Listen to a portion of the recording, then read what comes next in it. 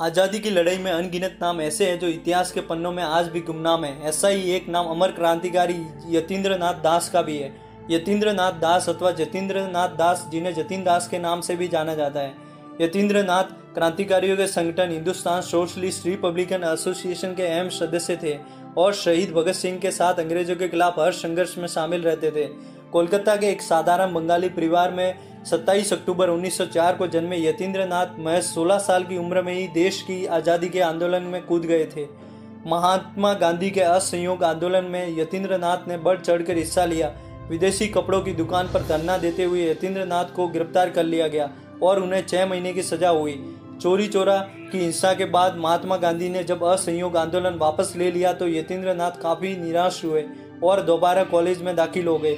गांधी जी के असहयोग आंदोलन वापस लेने के बाद उन्होंने अहिंसा की थ्योरी को छोड़ दिया और क्रांतिकारियों में शामिल हो गए।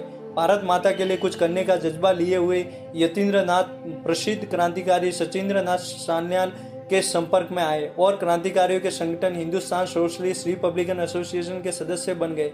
1925 में अंग्रेज़ों के, अंग्रेज़ों ने यतीन्द्र नाथ को दक्षिणेश्वर बम कांड और काकोरी कांड के सिलसिले में गिरफ़्तार कर लिया। हालाँकि सबूत नहीं होने के कारण उन पर मुकदमा तो नहीं चल पाया, लेकिन वो नज़रबंद कर लिए गए। अपने साथ हो रहे बुरे व्यापार के विरोध में उन्होंने भूख हड़ताल की। जब यतीन्द्र नाथ की हालत बिगड़ने लगी तो अंग्रेज़ सरकार ने डर कर 21 दिन बाद उन्हें रिहा कर दिया। लाहौर षड्यंत्र केस में यतीन्द्र को भगत सिंह और अन्य क्रांतिकारियों के साथ पकड़ लिया गया। जेल अफसर क्रांतिकारियों के साथ मारपीट भी किया करते थे। क्रांतिकारी चाहते थे कि उन सबको राजनीतिक बंदी मानकर अच्छा बिहेव किया जाए, जैसा कि सत्याग्रहियों के साथ होता है। जेल में क्रांतिकारियों के साथ अच्छा बर्ताव न होने के कारण भगत सिंह ने अनिश्चितकालीन भूख हड़ताल शुरू कर दी। भगत सिंह ने यतीन्द्र नाथ से भी भूख हड़ताल में शामिल होने का अनुरोध किया। यतीन्द्र नाथ ने इस शर्त पर भूख हड़ताल शुरू की कि जब तक अंग्रेज़ उनकी मांगे नहीं मानेंगे, तब तक वे अन्न नहीं खाएँगे। उन्होंने अनशन शुरू करते हुए कहा था कि या मैं, या तो मैं जीतूँगा या मर जाऊँगा। यतीन्द्र नाथ का यह प्रण सुनकर क्रांतिकारी सोच में पड़ गए, क्योंकि वे जानते थे कि यतीन्द्र नाथ अपने प्रण के पक्के हैं। इस अटल प्रण के साथ यतीन्द्र नाथ की क्रांतिकारी भूख हड़ताल शुरू हुए यतीन्द्र नाथ के साथ क्रांतिकारियों का हौसला बढ़ गया और दूसरे क्रांतिकारी कैदी भी भूख हड़ताल में शामिल हो गए। तेरह जुलाई उन्नीस सौ उनतीस से अनशन शुरू हुआ। जेल में क्रांतिकारियों को बहुत खराब खाना मिलता था। लेकिन जेल के अफसर अनशन के बाद से उनके कमरे में बहुत अच्छा खाना रखने लगे। क्रांतिकारी ये चीज़ें उठाकर फेंक देते थे, पर यतीन्द्र नाथ को इस सबसे कोई फ़र्क नहीं पड़ता था और वो उन खाने पीने की चीज़ों की ओर देखते ही नहीं थे।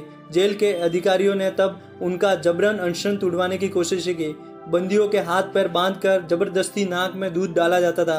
यतीन्द्र नाथ के साथ ऐसा किया गया तो दूध उनके फेफड़ों में चला गया। फेफड़ों में दूर भर गया था। इसके बावजूद भी यतीन्द्र नाथ ने दवा खाने से इनकार कर दिया गया। अंग्रेज़ों ने उनकी भूख हड़ताल तुड़वाने की काफ़ी कोशिशें की, लेकिन वे सफल नहीं हो सके। यतीन्द्र नाथ की हालत बिगड़ने पर भगत सिंह व अन्य क्रांतिकारियों ने भी उन्हें भूख हड़ताल खत्म करने को कहा, लेकिन यतीन्द्र नाथ अपने प्रण से पीछे नहीं हटे और भूख हड़ताल के तिरसठवें दिन 13 सितंबर उन्नीस सौ उनतीस को उन्होंने लाहौर सेंट्रल जेल में अपने प्राण त्याग दिए। यतीन्द्र नाथ ने दिखा दिया कि देश की आज़ादी उन्हें अपने प्राणों से भी ज़्यादा प्यारी थी। देश ऐसे क्रांतिकारी वीरों को सत सत नमन करता है। जय हिंद, जय भारत।